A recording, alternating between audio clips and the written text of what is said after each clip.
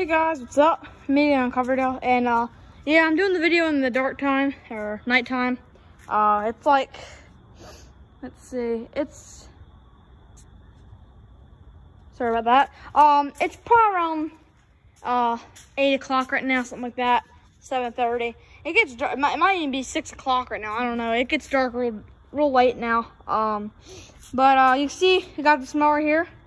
I um, I got it for 10 bucks today. I got it for 10 bucks.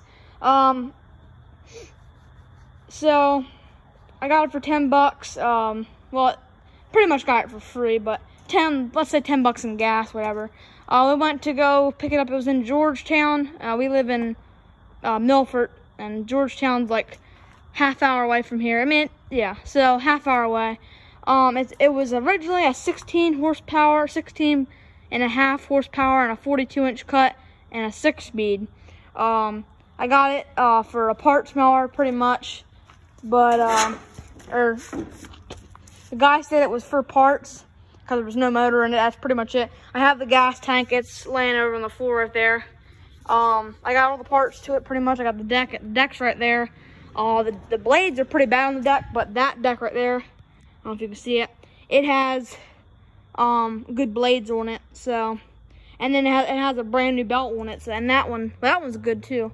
Um, the only thing that's really missing is, like I said, a motor, and it's missing um, the deck pulleys there for the deck and motor, um, but it's missing the transmission or the drive belt, not the mower deck, the drive belt that drives the mower. Um,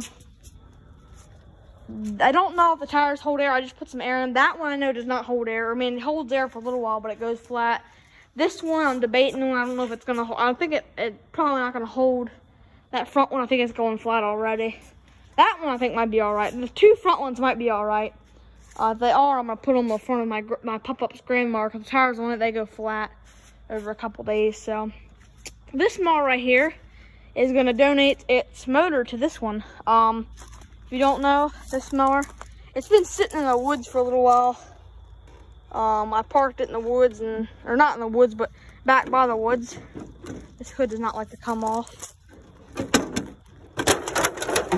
Oh, I just, see, look at that. It just broke into two pieces, see?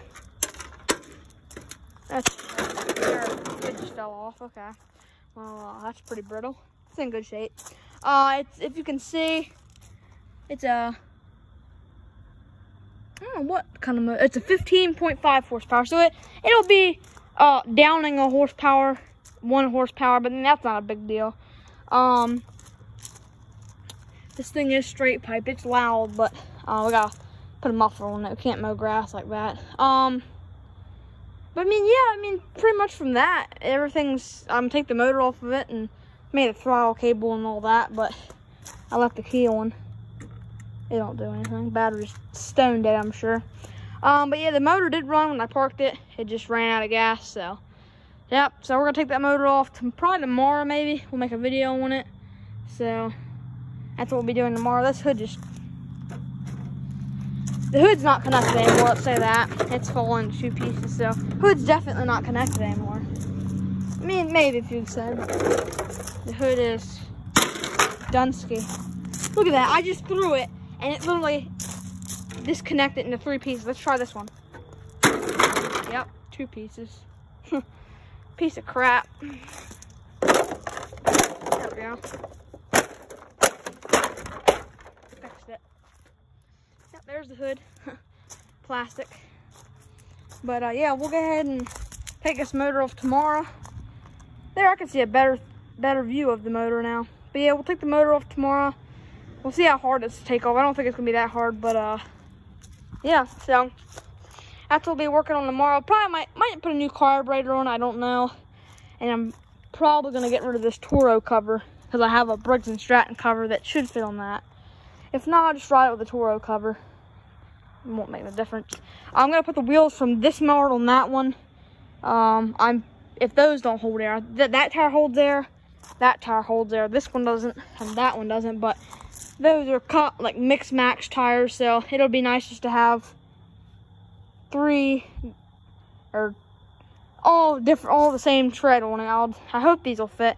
The back ones, I tried getting them off. They won't come off, but I'm thinking of just getting a hammer and beating them off because I'm not worrying about this transmission.